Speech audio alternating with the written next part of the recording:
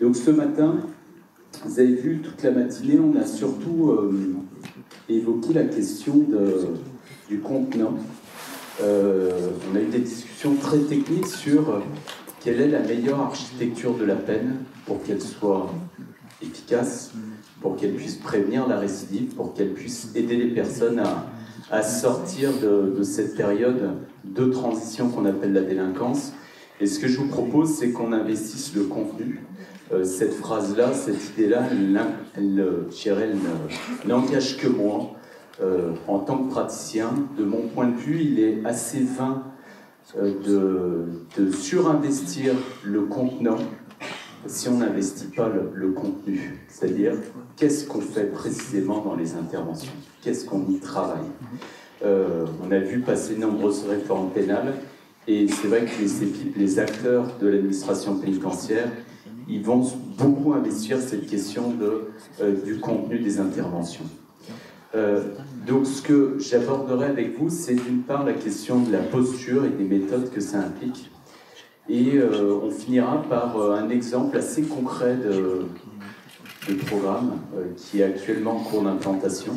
Il n'y a pas de certitude dans nos métiers, on travaille avec des êtres humains, donc on fait des erreurs, on essaie d'avancer. L'être humain, sans doute, ben, en tout cas, c'est, euh, ça implique de prendre en considération de nombreuses variables. Euh, donc, il faut rester très humble. J'évoquerai un exemple avec le programme d'alternative à la violence qui est actuellement en cours d'implantation dans le Lot-et-Garonne, euh, en milieu ouvert, auprès de personnes en milieu humain. Euh, j'aimerais, euh, pour commencer, qu'on, qu'on commence à se poser la question suivante.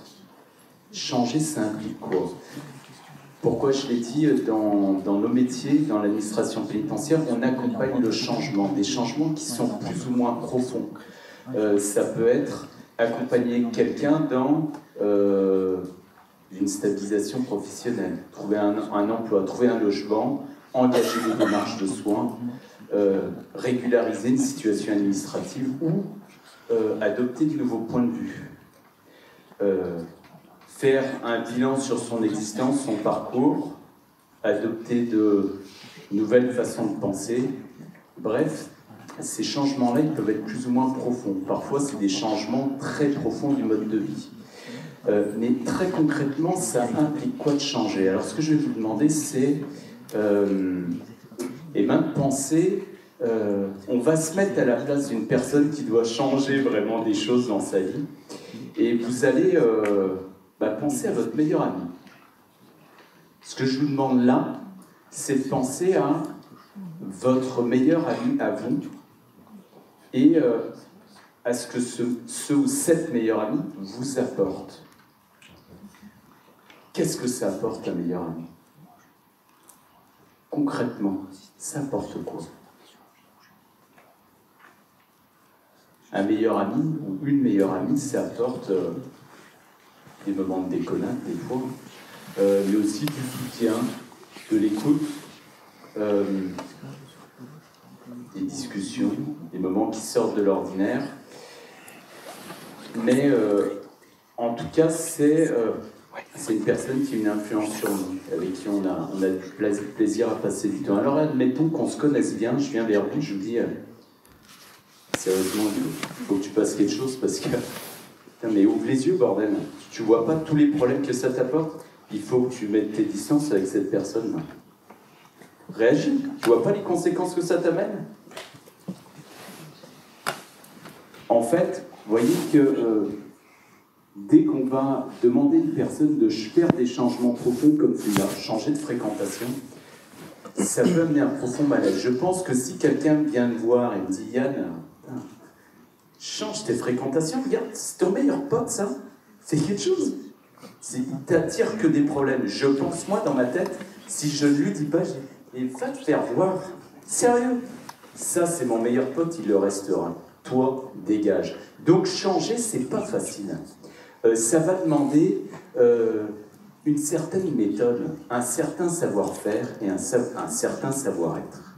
Euh, donc, là, on investit la question du contenu amener quelqu'un à engager des changements profonds, euh, ça demande une certaine façon d'amener les choses. Alors plutôt que vous dire, moi Yann Morin, je pense que c'est comme ça euh, qu'on peut euh, engager des changements profonds, euh, j'ai voulu faire appel au témoignage d'un expert, alors une personne qui est un expert du changement par rapport à son vécu du changement et par rapport à la, dimension carcérale. Sylvain Châtelet, la première fois que je le rencontre, c'est à la conférence de consensus pour la prévention de la récidive. Euh, Sylvain Châtelet, il a euh, été incarcéré à l'âge de 22 ans euh, pour des faits de vol, vol aggravé, hein, des vols à main armée, très graves. Il va être condamné à 12 ans et il sort en fin de peine, en vraiment sortie sèche, sans aucune forme d'aménagement. Et 13 mois après sa libération, il va récidiver. quand je le rencontre, Sylvain, je le croise pour la première fois à la conférence de consensus. Euh, il vient d'exécuter euh, la moitié de son existence en prison.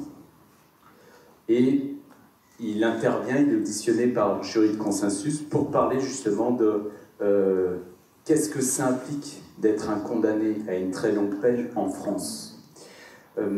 Et j'ai eu l'opportunité dernièrement de le recroiser sa route à l'ENAP, cette fois cinq ans après, plus de cinq ans après sa libération, alors que tout ça est loin derrière lui. Il a une vie euh, totalement normale, un job, une vie familiale, des rêves. Euh, il a changé profondément, il a raccordé totalement euh, ce qui faisait son système de valeurs. Et je l'ai rencontré à l'occasion de vidéos qu'on a tournées sur ce qu'on appelle la sécurité dynamique.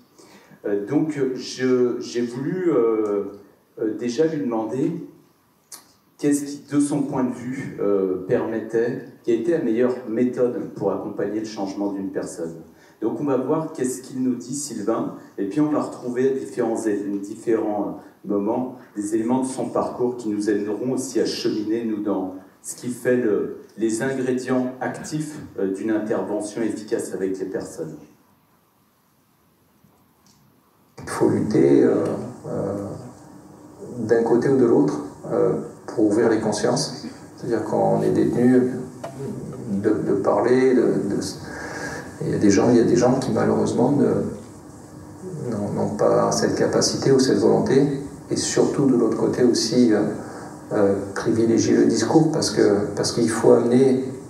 Alors, on ne peut pas amener des gens par la force, on ne peut pas les contraindre, ça c'est ce que j'ai appris. La nature humaine est ce qu'elle est, si vous voulez contraindre quelqu'un par la force. On retrouve des, euh, des réflexes animaux et on réplique par euh, la colère, par l'agression. Mais si vous avez cette capacité à pouvoir poser les mots dans le calme, pouvoir euh, amener les gens à s'interroger, à ce moment-là, on est sur une bonne base de départ. Et quand les gens commencent à parler, là, là on, a, on a un terrain qui est un terrain fertile sur lequel tout peut, tout peut surgir en, positif.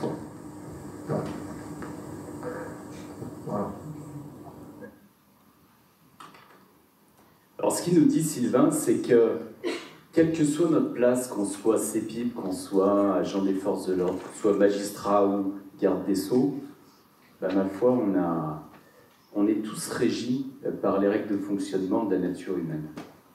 Et ce qui nous rappelle, c'est que ce qui marche le mieux avec un être humain, c'est la communication communiquer, utiliser euh, les bons mots, des mots bien placés. Euh, et c'est aussi instaurer une certaine relation avec la personne. Euh, dans le cadre des pratiques, l'évolution des pratiques, des pratiques pénitentiaires, on a eu de grands bouleversements, avec de nouvelles pratiques qui ont introduit la formation initiale. Euh, des pratiques qui, des méthodes qui sont pas récentes. La plupart, elles sont anciennes, elles se développent dès euh, la fin des années 70 et des années 80, notamment l'entretien motivationnel, va faire partie de ce qui a infusé dans nos pratiques et aujourd'hui intégré au référentiel des pratiques opérationnelles.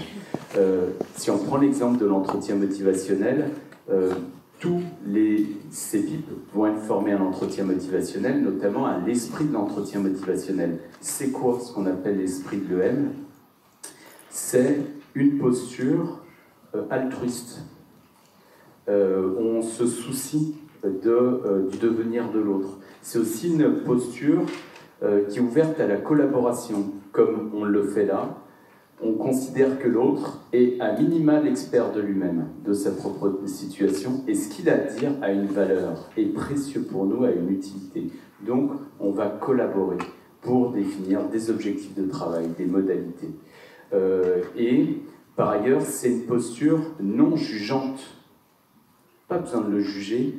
Dans, tout cas, dans nos fonctions nous, on va être plus dans un accompagnement au changement, inutile de juger. On est surtout dans comment construire euh, et comment arriver à résoudre certains problèmes. Mais c'est aussi une posture particulière, on va faciliter ce qu'on appelle l'évocation. C'est on va essayer de faire ressortir chez la personne toutes ses potentialités, ses forces. Donc on va chercher au fond de lui à libérer des ressources personnelles. On a toute une série d'autres pratiques qui se rattachent à ce que Nicolas a appelé les, les pratiques fondamentales de suivi ou ce qu'on appelle les corps correctionnels practice qui sont largement développés en Europe du Nord. Hein. La Suède, par exemple, a largement développé euh, les corps correctionnels practice, euh, qui sont pour beaucoup liés au travail social.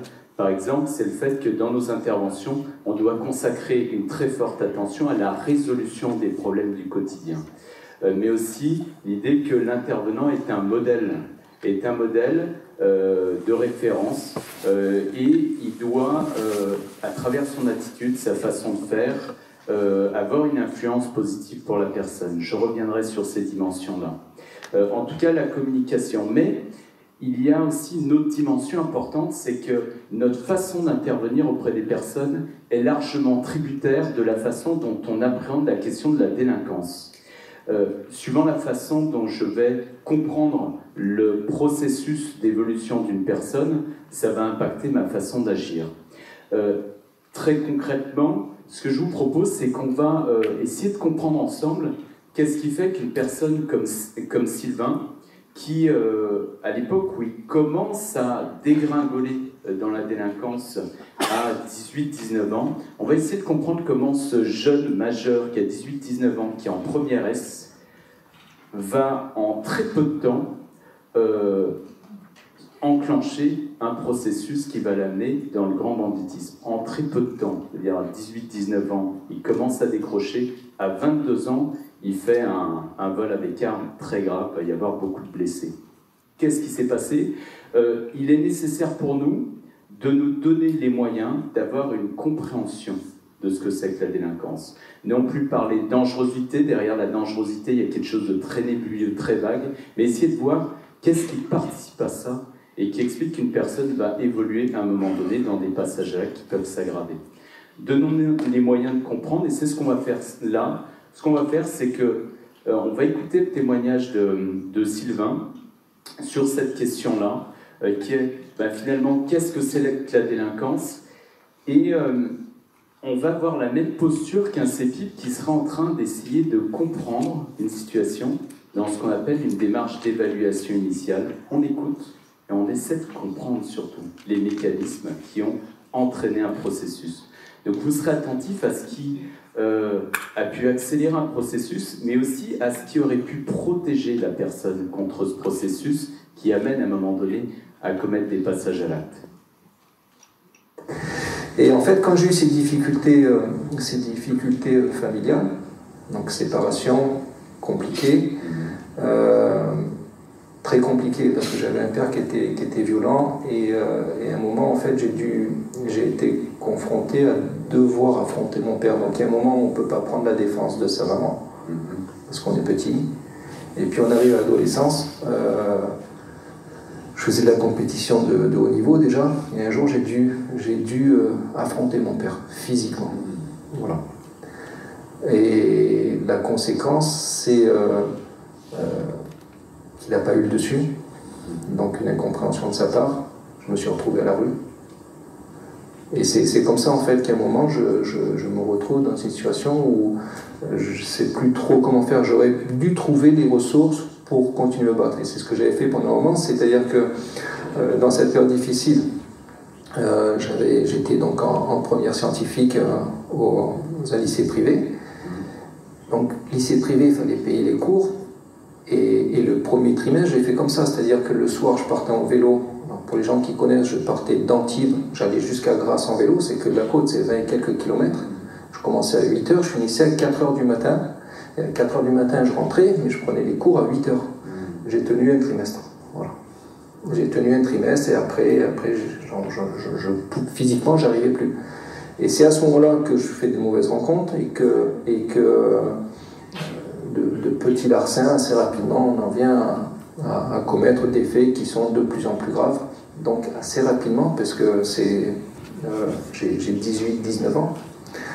Et, euh, et, la première fois où je suis incarcéré, je viens d'avoir 22 ans. Donc le, laps de temps est très très court de, de, de, dire, la déviance du moment où je commets des actes de, de vol, de larcin et après de, braquage. Et le problème, donc ça je me suis, je me suis reproché après, je me dis toujours, tu aurais dû avoir la force de continuer. C'est pas, j'ai pas trouvé d'excuse par rapport à cette situation de me dire, ça justifie en rien. Mais bon, à un moment, je, comme je le dis, j'ai chuté dans le caniveau. Je suis tombé, je ne me suis pas relevé. Mais euh, tu as ce regard-là aujourd'hui, mais à cette époque-là, comment tu vivais les choses? Tu vois, c'était quoi ton, ton état d'esprit? Alors, mon état d'esprit, il était, je me disais, tant que j'attaque pas les personnes, physiquement, j'avais le sentiment de ne pas causer de, mal. Alors que le mal, quoi qu'il en soit, il est, il est, il est, réel.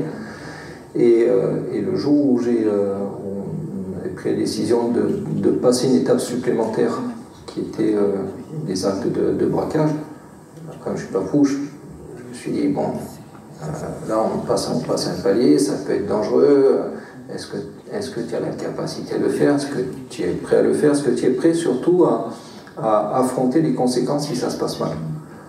Et j'ai une telle confiance en moi, mais de, gamin, j'ai toujours été comme ça, que je suis parti naturellement. Et le problème, c'est que, c'est que j'ai abordé ce moment de la vie, de ma vie, comme, euh, comme quelqu'un va, au travail.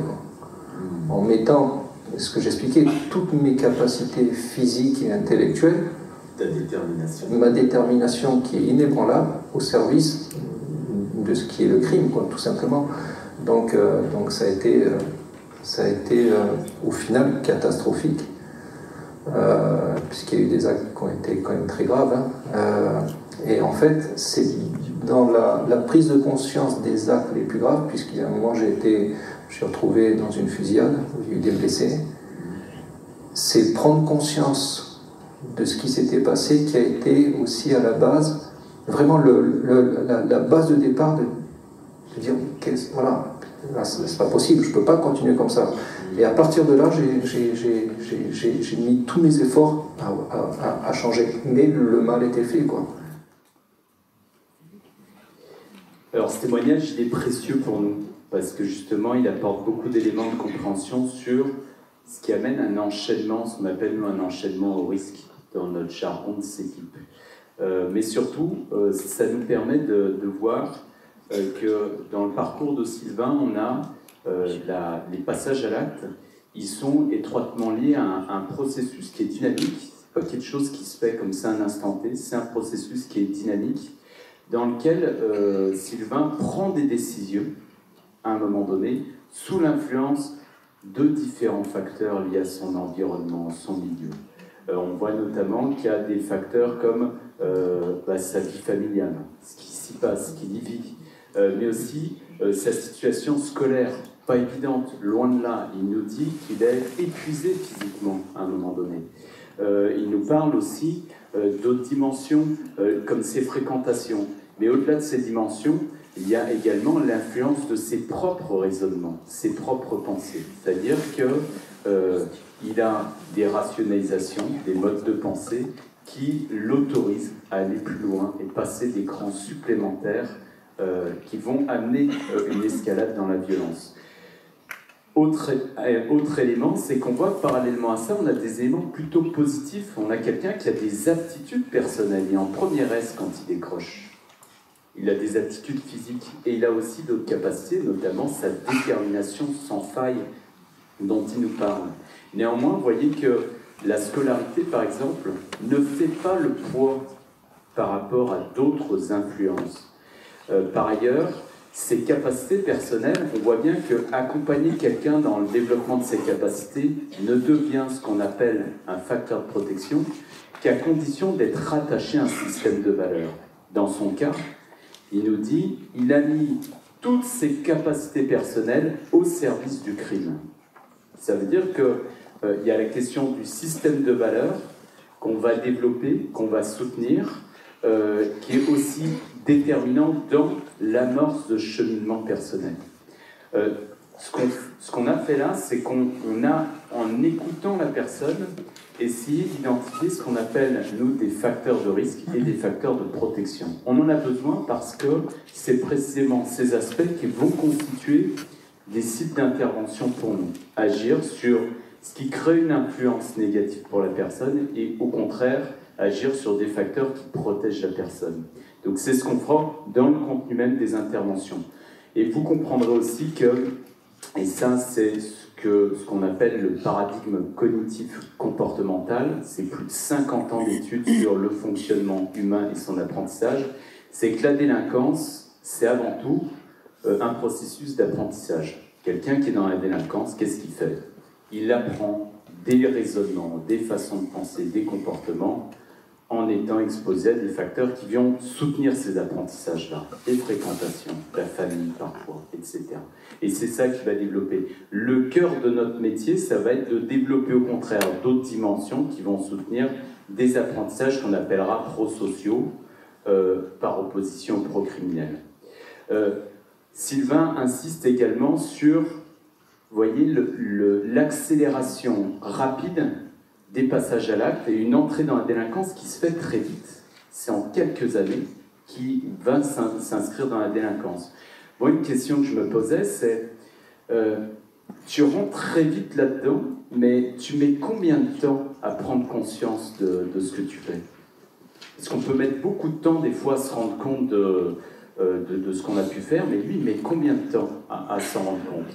Donc c'est ce qu'on va voir, justement, cette prise de conscience. Euh, ben, dans son cas, Sylvain, il va lui en falloir combien de temps Quand j'arrive à Nice, on me met au cachot pendant 9 mois. Donc je me retrouve seul, seul dans, cette pièce, à ne voir personne, mais dans des conditions quand même très particulières, voire difficiles.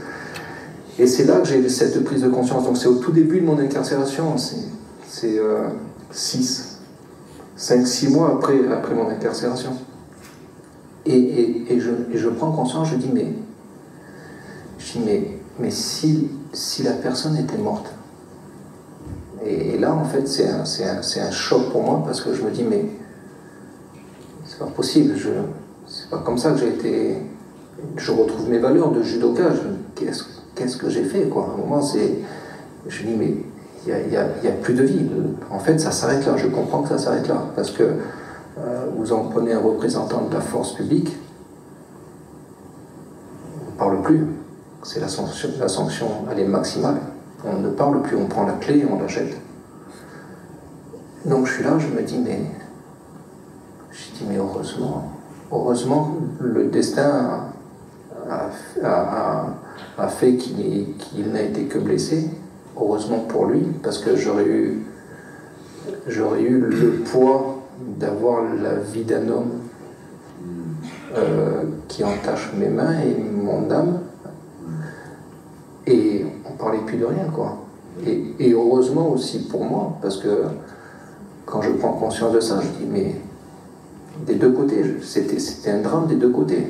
Ça, a déjà été un drame, tellement c'était compliqué, quoi, une affaire dramatique. Et, euh, et c'est la base de départ, en fait. C'est la prise de conscience. À ce moment-là, tu as cette prise de conscience. Donc vous voyez que l'entrée dans la délinquance, elle peut se faire très rapidement. La prise de conscience, elle peut se faire aussi très vite. Quand on parle du choc carcéral, quelqu'un qui arrive en prison, c'est aussi ça qui se passe.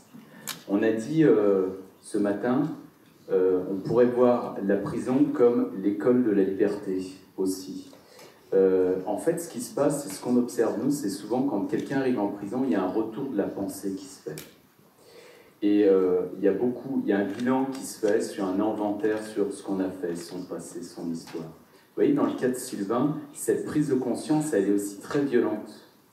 elle est très violente et fréquemment, ce qu'on va observer nous, quand on accompagne les personnes, c'est qu'on aura parfois des stratégies qui visent à ne pas se confronter à cette prise de conscience. Donc assez, euh, assez naturellement, on a des mécanismes de défense qui vont s'installer. L'être humain, il a ses protections. Pour ne pas s'exposer à la violence de cette prise de conscience, on aura des personnes qui peuvent minimiser, voire rejeter leurs responsabilités. Il faut comprendre ce qu'il y a derrière. C'est une vraie onde de choc profonde. Donc quelqu'un qui prend conscience de ce qui lui est arrivé, on a intérêt, nous, à l'accompagner dans ce cheminement-là.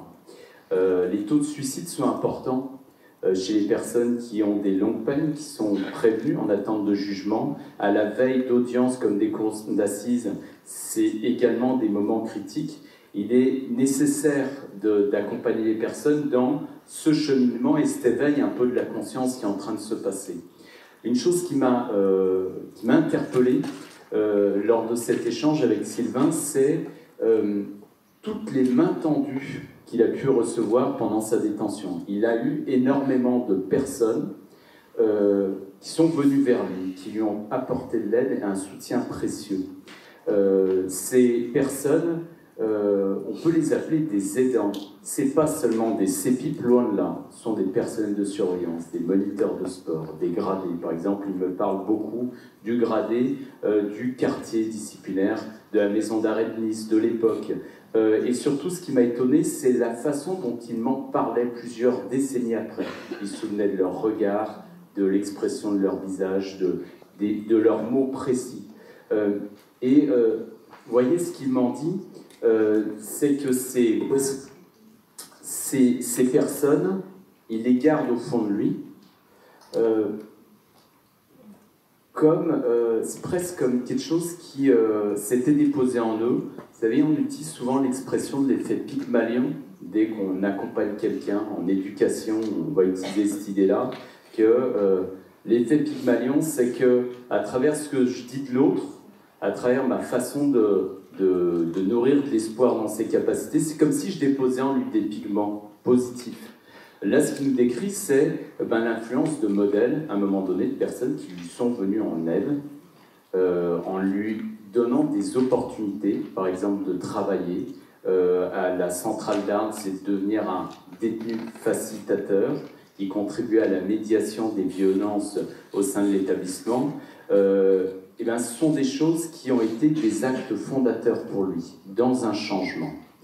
Euh, donc, d'une certaine façon, on voit que dans son cas, on a une évolution, une prise de conscience rapide, mais ce qu'on aura toujours comme angle mort, c'est euh, une dimension on a assez peu accès, c'est le poids du rôle dans lequel sont enfermées nos personnes. Euh, ce que me dit euh, Sylvain, c'est qu'il lui a fallu très peu de temps lui pour prendre conscience de la gravité de ce qu'il avait commis. Mais il lui a fallu dix ans pour se sortir d'un rôle, celui d'un braqueur. Euh, à 10 ans pour arriver à se libérer de cette étiquette, ce rôle, euh, ce statut, euh, et pour pouvoir accéder à de nouveaux rôles. Donc ça, c'est des choses, je parle d'angle mort, c'est des choses qu'on ne perçoit pas toujours, mais en effet, il est difficile pour les personnes d'investir de nouvelles responsabilités, de nouveaux rôles aussi, parce qu'en établissement, mais pas uniquement, certains actes sont associés à une valorisation, ou pas. Mais en tout cas, il est très difficile pour les personnes d'arriver à s'affranchir de, ces rôles-là, de ces identités-là. Donc on utilise le terme de désistance pour ce qui a trait à ce cheminement euh, dans euh, cette transition vers la sortie de délinquance, un cheminement qui est euh, pas seulement lié à des facteurs externes, mais c'est aussi lié à un changement identitaire. et ce changement-là, on le voit, il n'est pas si simple que ça. Il y a une question que je me suis posée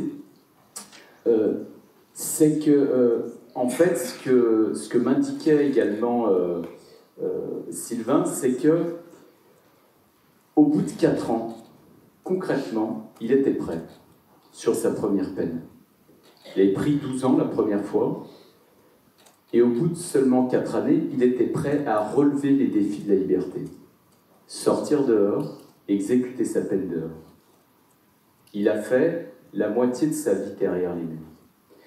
Euh, la question que je me suis posée, c'est comment on gère ça Ce décalage entre le temps du changement humain, où un être humain, il est prêt à relever les défis et à assumer ses responsabilités dehors, et ce temps de la justice qui est différent, qui est très long. Comment on gère ça?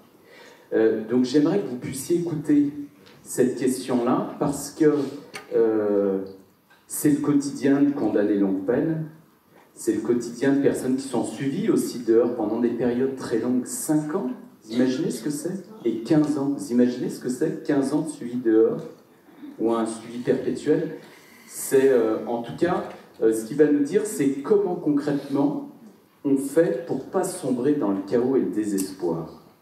Euh, une peine efficace, gardons à l'esprit que c'est une peine souple qui reste en adéquation avec l'évolution d'un être humain. On sent en tout cas à travers ce que tu dis qu'il y a cette question du rapport au temps. Euh, il y a un temps qui peut s'étirer alors qu'on est prêt. Euh, et après, il y a... la vie a une vraie valeur, c'est-à-dire qu'on mesure particulièrement la valeur de la vie quand on est dans C'est toute la, c'est aussi toute la difficulté de la détention. Euh, des études qui disent que la limite acceptable c'est 4-5 ans et après, ça pose des, désordres, ça peut poser des désordres euh, de nature profonde, psychologique.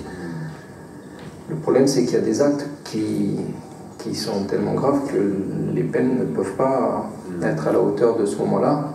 Et, c'est là que toute la difficulté est, c'est que quand bien même des gens qui sont condamnés à des peines très importantes euh, cette prise de conscience et cette volonté assez rapide, il faut ensuite aborder passer ce, laps de temps qu'on peut humainement accepter comme une peine juste, passer ce moment où, la peine perd de, sa, de son sens. De son utilité. De son utilité et de son sens.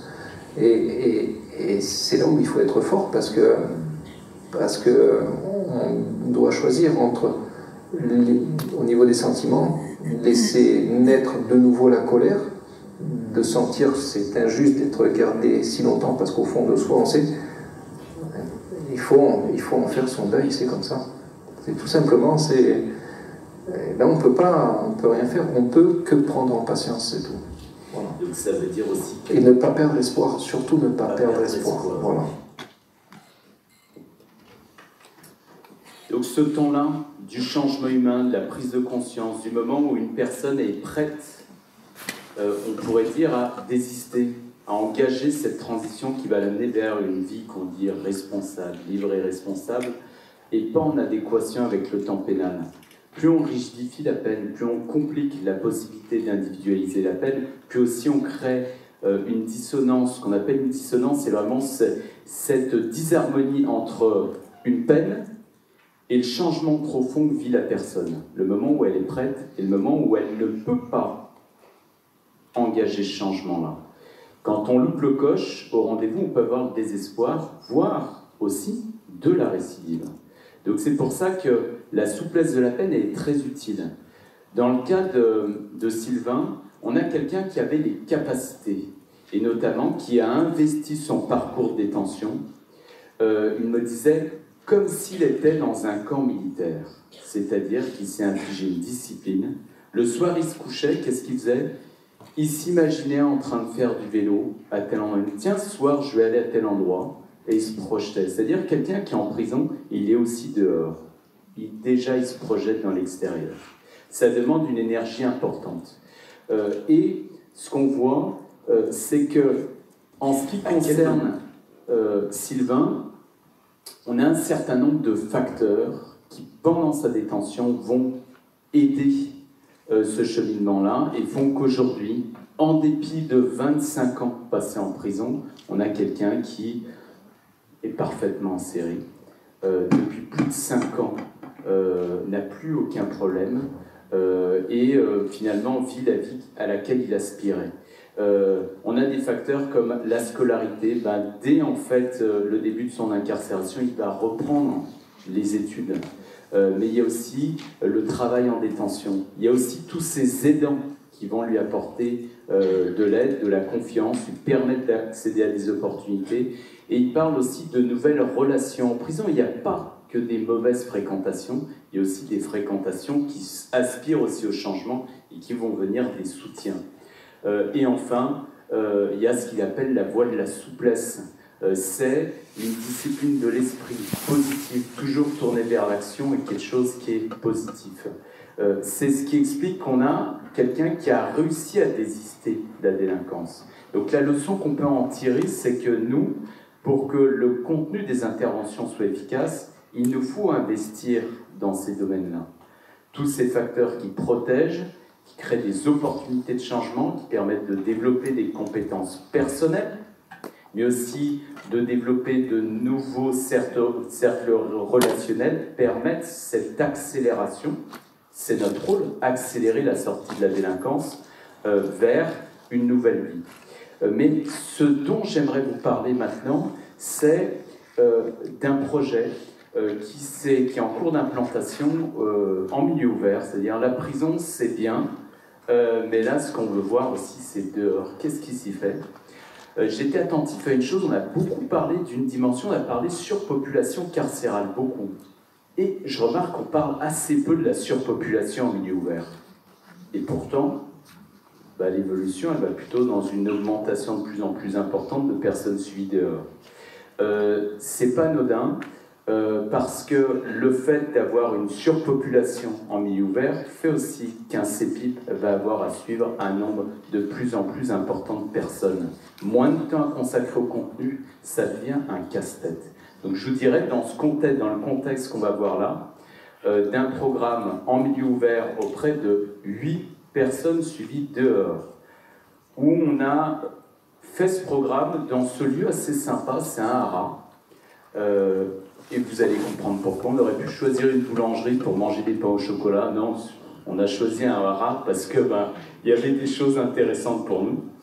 Euh, en fait, il y, a beaucoup d'autres défis qui vont se poser en milieu ouvert, mais il y avait aussi les défis du principe de réalité. Mes collègues, euh, co-animateurs, avaient des effectifs assez chargés à ce moment-là. 140 personnes dans leur effectif, donc il a fallu penser certaines modalités on s'est tourné euh, vers un programme, programme d'alternative à la violence, mais on va voir très concrètement c'est quoi les enjeux d'un programme comme ça en milieu libre? On va voir ces situations-là. Première situation, je suis dans le bus avec ma compagne et mes enfants, devant moi, devant nous. Une personne est en état d'ébriété. Elle se retourne, elle me regarde. Première situation, c'est chaud, Deuxième situation, je suis dans la rue, en train de rentrer chez moi, il est tard, derrière moi, un jeune me siffle, siffle dans mon dos, il me cherche des noises. C'est bon ça aussi, hein Troisième situation, je vais voir mon patron pour qu'il me paye mes heures supplémentaires. On n'est pas dans la fonction publique là, hein. on est dans le privé. Euh, pour qu'il me paye mes heures supplémentaires, il m'envoie bouler en disant euh, qu'il n'a pas, qu'il pas le temps pour ça. Toutes ces situations-là, elles ont des points communs. Premier point commun, il n'y a rien d'exceptionnel dans ces situations-là. D'ailleurs, c'est ce genre de situations qu'on va rencontrer dans notre quotidien. Euh, c'est des situations de conflits interpersonnels assez classiques. Mais imaginez bien que plus vous avez d'emmerdements dans votre vie, des problèmes, plus vous aurez ce genre de conflit interpersonnel qui va se présenter. Euh, deuxième point commun, toutes ces situations-là, elles sont propices à l'émergence de la colère et aussi propices à des passages à l'acte violent. Le dernier point commun, toutes ces situations nous ont été rapportées par les participants au programme d'alternative à la violence. Ça faisait partie de choses de leur quotidien qu'elles vivaient pendant le programme d'alternative à la violence. Donc ce programme-là, dont je vais vous parler, il vise à répondre à ce genre de choses-là. Pas passage à l'acte qui remonte à 10 ans. Non, ce genre de situation du quotidien où des passages à l'acte peuvent avoir lieu. Alors, on n'a pas créé un programme, on a parlé de la pertinence de s'inspirer de programmes étrangers. Euh, ça n'engage que moi, mais je constate que la délinquance n'a pas de frontières, l'approbation non plus. Donc, aux frontières de nos pays, ben, on a des collègues en fait qui font le même métier, qui ont des programmes qui sont très intéressants. Euh, et quand c'est possible, il est intéressant de collaborer avec nos collègues d'autres pays. Donc c'est ce qu'on a fait là, avec ce programme d'alternative qui euh, présentait un certain nombre d'intérêts. Le premier intérêt majeur, c'était les garanties apportées par ce programme, ses objectifs aussi et ses modalités. Euh, sur le premier aspect, les garanties, c'est que le programme d'alternative à la violence, euh, il a des bases solides. Euh, il a été mis en place au Québec auprès de centaines, voire de milliers d'adolescents sous main de justice. Autre point intéressant, c'est un programme qui a été élaboré, qui est directement inspiré des travaux de Goldstein et Glick, qui ont travaillé et mené des recherches qui sont des références dans le cadre de tous ces, euh, toutes les compétences qui permettent euh, d'éviter d'avoir des comportements violents. Euh, de leurs travaux est directement issu un programme qui n'est pas libre de droit, hein, il est payant, c'est le programme Aggression Replacement Treatment with the English.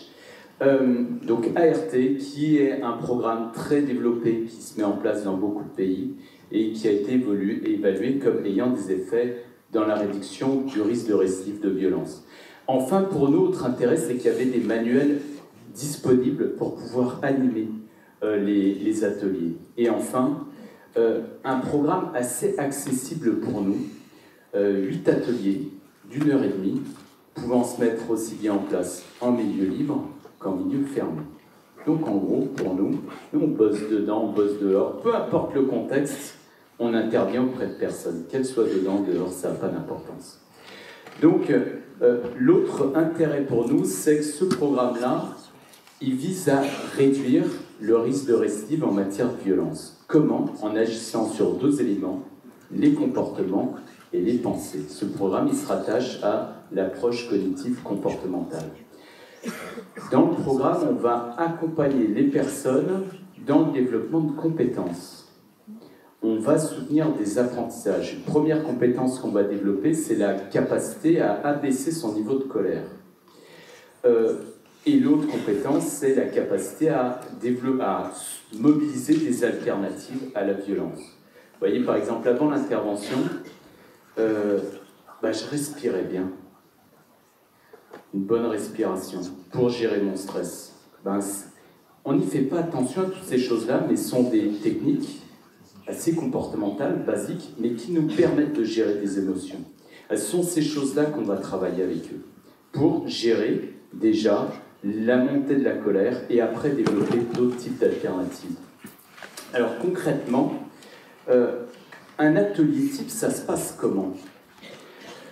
Un atelier type, ça se passe déjà par un temps d'accueil. Temps d'accueil, c'est euh, tiens, salut, comment tu vas? C'est bien passé la dernière fois, qu'est-ce que tu as fait? Ah et donc, euh, tu viens en avance aujourd'hui. C'est bien, super. On discute, c'est très informel. Dire, mais quoi? Oh, sérieusement, c'est pas du boulot ça. C'est primordial. Parce que si vous voulez, on va bosser dans cet atelier, on va apprendre, on va mettre en pratique des choses. On va créer une alliance, une dynamique et un climat favorable au boulot. Euh, c'est comme si vous ici, euh, je sais pas, il n'y avait pas de lumière, il y avait du bruit, vous ne pourriez pas apprendre correctement on va déjà accueillir plutôt. Donc il y a premier temps l'accueil des personnes. Il faut de la convivialité pour bien travailler. Sinon, euh, ensuite, l'autre temps, c'est on va présenter l'apprentissage. On présente, ben, au cours de cet atelier, on va voir tel apprentissage. Je vous donne l'exemple du premier atelier. Il porte sur l'apprentissage des techniques qui permettent d'abaisser le niveau de colère. C'est assez simple, et à chaque fois, on va viser des compétences bien précises, parce qu'à chaque atelier, on en ajoute. Donc on va dire, ben, au cours de cet atelier, on va apprendre à utiliser des techniques pour abaisser le niveau de colère. Premier élément, on va s'entendre sur ce qu'on appelle un déclencheur externe de violence. Un déclencheur externe de violence, c'est quelque chose qui est une situation qui est extérieure à moi, je peux observer, et qui va déclencher chez moi de la colère. Ça peut être, par exemple, euh, je croise mon patron et puis euh, il dit donc, t'es en retard, Yann, qu'est-ce que ça veut dire? C'est un élément extérieur à moi. Chez moi, ça déclenche de la colère. Ce terme-là, on va systématiquement l'utiliser, déclencheur externe. Ensuite, on va s'entendre sur autre chose. C'est quoi les indices de colère? Donc, on va voir bah, qu'il y a déjà des indices physiques de colère. À quoi vous voyez-vous que quelqu'un est en colère? Ah bah, serre les poings, il est plutôt rigide, il s'avance, il a un visage plutôt fermé. On est sur de la communication de base. Mais dites-vous bien qu'à chaque fois, on en rajoute. Ok, les indices visibles. Mais il y a aussi des indices non visibles. Ah ouais, j'ai le cœur qui part à fond. J'ai les guibolles qui tremblent. Ça, c'est pas visible, mais moi, je les perçois. Ça me permet d'être attentif à mes indices de colère. Et ensuite, on va voir ben, quatre techniques pour s'arrêter la respiration, une pensée positive. C'est quoi Franchement, là, ce soir, tu as ta bonne série à la télé, lâche ta faire, ça vaut pas le coup de te prendre la tête. Donc, une pensée positive. Ou euh, encore, bah, plutôt se mettre à distance. Il y a quelqu'un qui, si on commence à se prendre la tête tous les deux, on va se rapprocher, puis ça va finir ça va pas bien finir. Donc, le réflexe qu'on va avoir, qui est comportemental, c'est plutôt on va se retirer faire un pas en arrière, rétablir une distance, et on vise à abaisser le niveau de colère et respirer. C'est bon. Hein? Ça, c'est la première étape. Après, on va en rajouter d'autres au cours des ateliers. Donc, il y a l'apprentissage et après, on fait un modelage. Ce qu'on appelle un modelage, c'est que l'apprentissage, là, on va l'appliquer à une situation concrète. Celle qu'on a vue tout à l'heure, c'est celle-là qu'on va jouer. On fait deux jeux de rôle, c'est comme si tu étais mon co-animateur. Toi, tu es le gars là qui vient me chercher des noises, et moi, je dois appliquer ces apprentissages avec toi. Concrètement, tout ce qui se passe dans ma tête, je dis au voix. Putain, j'ai envie de le défoncer grave. Ça prend bien. Ok, été attentif à mes déclencheurs internes. Je fais un pas en arrière. Voilà, je me mets à distance, puis je reviens. Ok, j'ai pris le temps d'écouter. Bref, je vais dire haute voix euh, les apprentissages. On en fait deux. On donne à voir ce qu'on doit mettre en application. Et on choisit quoi comme scénario? Des situations du quotidien, des situations qui sont proches de ce qu'ils vivent eux. Et après, les participants vont mettre ça en application dans des jeux de rôle. Ils se mettent par eux. Ça commence comme ça. Dans cette situation, je suis l'acteur principal. Euh, dans la situation, je suis dans un magasin avec ma compagne euh, un client sort, me bouscule et me traite de bâtard. C'est chaud ça. Hein? Je vais vous dire, les premiers modelages, c'était pas évident, les premiers jeux de rôle, parce qu'ils n'arrivaient pas à trouver d'autres façons de faire que la violence. Ils nous disaient quoi Et putain, mais ce mec, il fait ça, mais je le défonce. Je lui arrache la tête, mais puisque moi, je sais pas comment faire. C'est au fur et à mesure, au fil des ateliers, c'est devenu moins difficile à force de répétition, à force d'appliquer ça aussi au quotidien. À la fin des ateliers, c'était plus compliqué pour eux. Mais au début, c'était compliqué. Parce qu'habituellement, un truc comme ça, ça se traitait à base de coups de tête, un bon coup de tête. Vous voyez Et bien là, c'est vrai qu'on développe d'autres façons de faire. Donc on fait le jeu de rôle, admettons, on le fait tous les deux, je le fais un coup, et une fois qu'on l'a fait, moi je suis l'acteur principal, et les animateurs, ils vont dire Alors, toi, tu étais l'acteur secondaire, qu'est-ce que tu as pensé de la mise en pratique de Yann? Ah ben, Moi, j'ai bien repéré ces indices de colère, tu vois. Ok. Après, on va demander aux autres qui étaient observateurs Vous avez repéré bien quoi? Ben, Moi, j'ai repéré qu'il bah, a utilisé une technique comme bah, il a fait le pas en arrière, j'ai vu qu'il respirait. Et qu'aussi, il a utilisé l'anticipation. Il a pensé aux conséquences de ce qui allait se passer. Ok. Après, les animateurs se prononcent et on finit par la personne. Qu'est-ce qu'on fait? On fait ce qu'on appelle la rétroaction et surtout du renforcement. Un comportement, un apprentissage a plus de probabilité de se répéter quand il est directement associé à une gratification, un sentiment de réussite, et plus il est répété. C'est-à-dire qu'à chaque atelier, on va répéter les mêmes choses. L'enjeu, c'est qu'à la fin d'un atelier, on va faire quoi? On remet à la, aux participants un document qu'on appelle une fiche d'auto-observation et dire Ok les gars, on a fini dure une heure et demie. Maintenant, ben, vous mettez ça en application dans votre quotidien. Et ils ont des fiches d'auto-observation, ils vont dire, ils vont décrire deux situations ils ont mis en application ces situations-là. L'enjeu, c'est ce qu'on appelle la généralisation, ces apprentissages qui les appliquent dans leur vie quotidienne.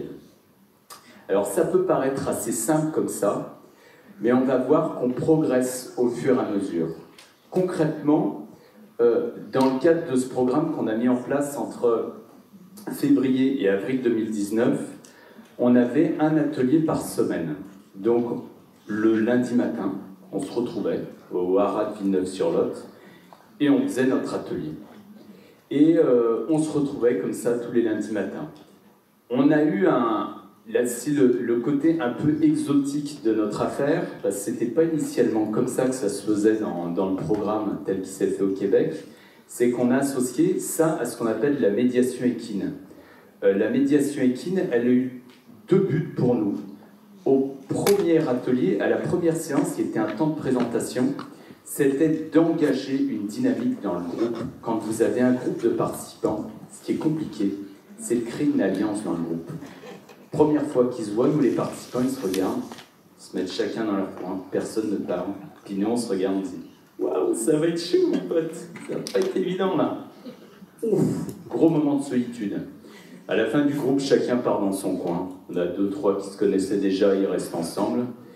Et le dernier atelier, tout le monde est ensemble.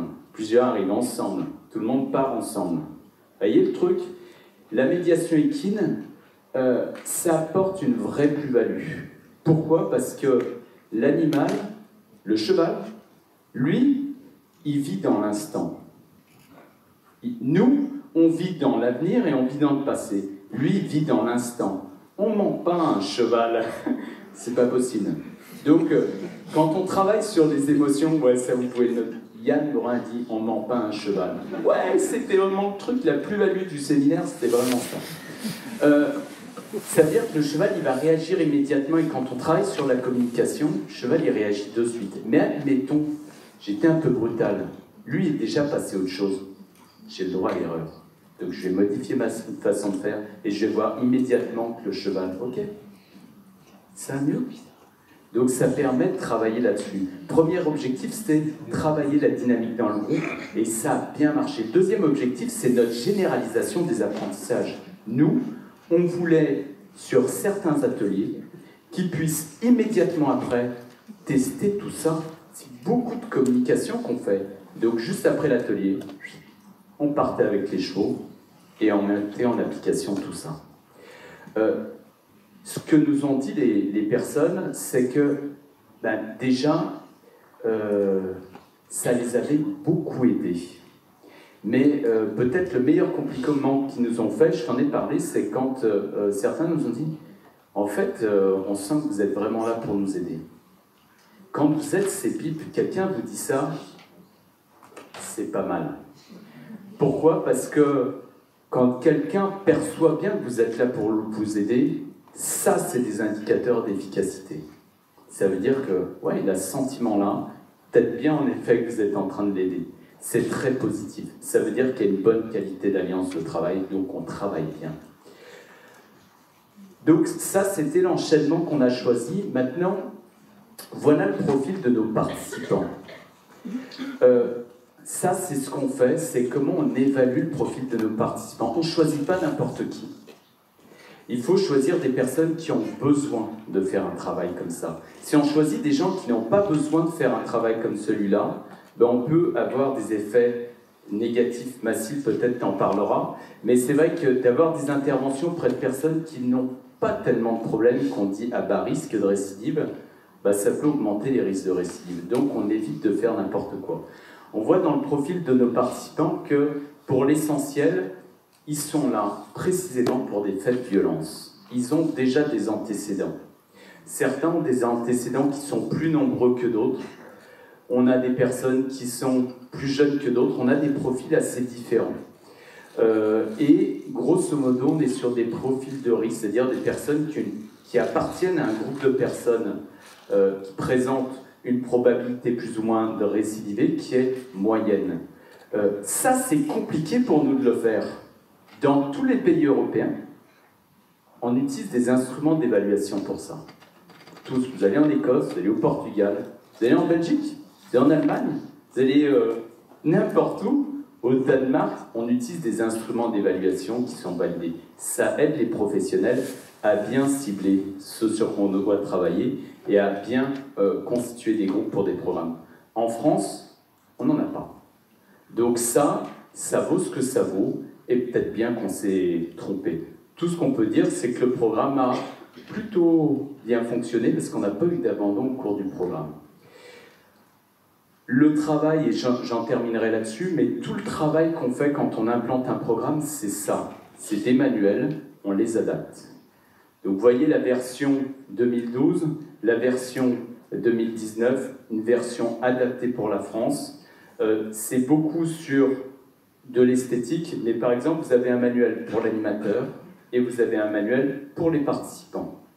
Pour les participants, on s'est retrouvé face à un petit problème. Dans notre groupe, la plupart ne lisaient pas. Pas parce qu'ils n'aimaient pas lire, parce qu'ils ne savaient pas lire. Sauf que dans nos manuels de participants, il n'y a que de l'écrit. Donc il a fallu faire une version écrite et une version graphique pour s'adapter aux besoins des personnes. Et à chaque fois, voyez un exemple de travail, ça c'est l'atelier 1. On va travailler sur ces différents aspects. On a aussi créé des supports d'animation comme des affiches qui viennent soutenir tout ça.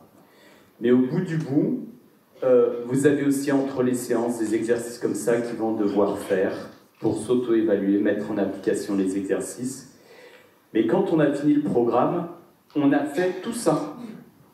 C'est pour ça qu'on peut dire, ouais, tranquille de chat, ton truc là, prendre à respirer, euh, je pense tu nous prends pour des ânes, quoi.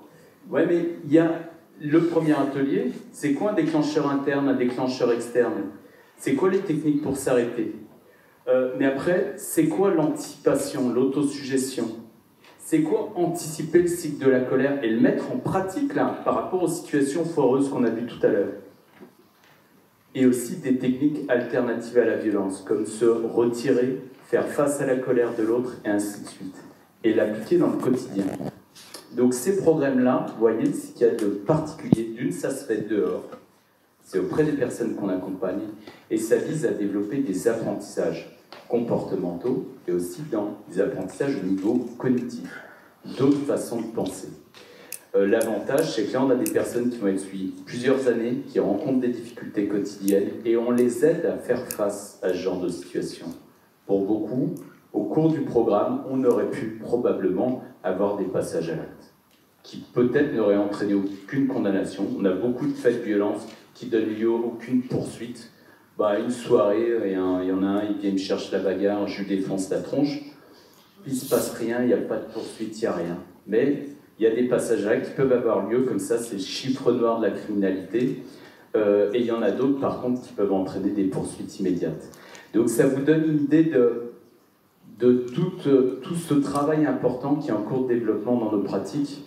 On introduit des programmes et on essaie en se formant. Derrière tout ça, il y a des programmes de formation avec euh, une supervision par d'autres pays. En l'espèce, c'était un, centre d'expertise jeunes en difficulté du Québec pour aider à mettre en place ce genre de choses.